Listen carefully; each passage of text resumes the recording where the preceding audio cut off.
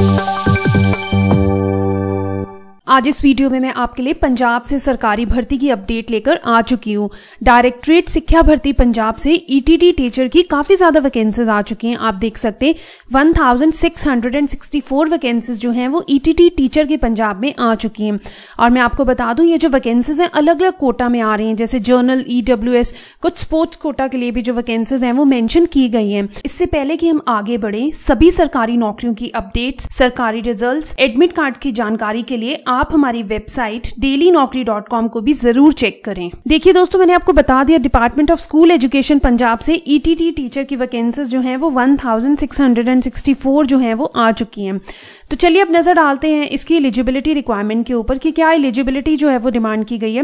देखिए, अगर हम एज लिमिट की बात करें तो यहाँ जो एज है वो आपकी 18 टू 37 ईयर्स के बीच बीच होनी चाहिए और कुछ कैटेगरीज है उनको जो है एज में रिलैक्सेशन दी जाएगी। चलिए अब बात करते हैं थोड़ी एलिजिबिलिटी की डिटेल में।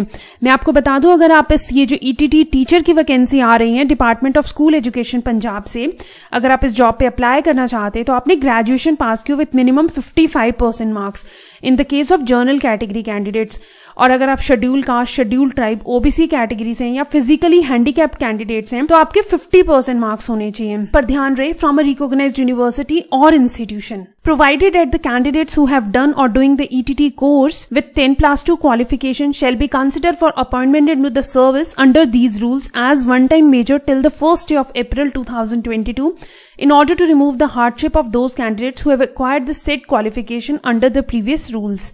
चलिए नजर डालते हैं आगे should possess two years elementary teachers training course अगर आप ये जो ईटीटी e टीचर की पंजाब में वैकेंसीज आ रही हैं अगर आप इन पे अप्लाई करना चाहते हैं तो आपके पास two years elementary teacher training course होना चाहिए किसी रिकॉग्नाइज्ड यूनिवर्सिटी या इंस्टीट्यूशन के द्वारा। और two years diploma in elementary education और qualification as per guidelines of the national council for teachers education और दोस्तों, ध्यान दीजिए, आपने पी एस टी वन जो है, वो पास किया हो। चलिए आगे बढ़ते हैं और पे स्केल पे नज़र डालते हैं कि कितना वेतन जो है, वो department of school education Punjab in vacancies पे देगा। अगर आप सिलेक्ट हो जाते तो आपको सैलरी जो मिलेगी, वो rupees ten thousand three hundred per month रहेगी। चलिए अब भर्ती प्रक्रिया पे नज़र डालते हैं। मैं आपको डिटेल में भी भर्ती प्रक्रिया बताऊँगी और भी इंपॉर्टेंट डेट्स बताऊँगी। बट अगर आप फ़र्स्ट टाइम इस चैनल पे विज़िट कर रहे हो तो जल्दी से सब्सक्राइब कर लो। जैसे ही सब्सक्राइब कर लोगे, आपको तुरंत सरकारी नौकरी के अपडेट्स जो है वो मिल जाएँगी। देखिए, भर्ती प्रक्रिया में जो फ़र्स्ट राउंड है, वो है रिटर्न टेस्ट और जो लोग रिटर्न टेस्ट को क्लियर कर लेते हैं, उसके बाद उनका एजुकेशनल क्वालिफिकेशन को भी कुछ कंसिडर किया जाएगा। उसके भी कुछ मार्क्स रखे गए हैं। और इसके बाद जो नेक्स्ट राउंड आएगा, वो डॉक्यूमेंट वेरिफिकेशन का है। अब दोस्तों, बात करते हैं एप्लीकेशन फ़ी की। पर ध्यान दीजिए जो आपको फ़ी पे करनी है through challan in any branch of Punjab national bank और यहाँ मैं आपको कैटेगरी वाइज फ़ीस बताऊँगी। एस सी को पाँच सौ रुपए फॉर्मल सोल्जर हिमसेल्फ नील और जर्नल एंड अदर कैटेगरीज को वन थाउज़ेंड रुपीज़ अगर इंपॉर्टेंट डेट्स पे नज़र डालें तो last date for online registration is twenty third March two thousand twenty शाम पाँच बजे तक। और जो last date for online application submission जो है, वो twenty fifth March two thousand twenty शाम पाँच बजे तक।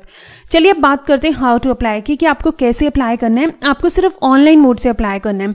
और आप नीचे जो डिस्क्रिप्शन में डेली नौकरी डॉट कॉम का लिंक जो दिया हुआ है, अगर आप उस पर क्लिक करेंगे तो उधर जाकर आप ऑनलाइन अप्लाई कर सकते हैं। तो दोस्तों, ये तो है department of school education Punjab से ईटीटी टीचर की वैकेंसी की पूरी इन्फॉर्मेशन अगर आप और जानकारी चाहते हो तो नीचे डिस्क्रिप्शन में डेली नौकरी डॉट कॉम के लिंक पे क्लिक करें। उधर जाकर आप डिटेल में इन्फॉर्मेशन कलेक्ट कर सकते हो और साथ ही ऑनलाइन भी अप्लाई कर सकते हो।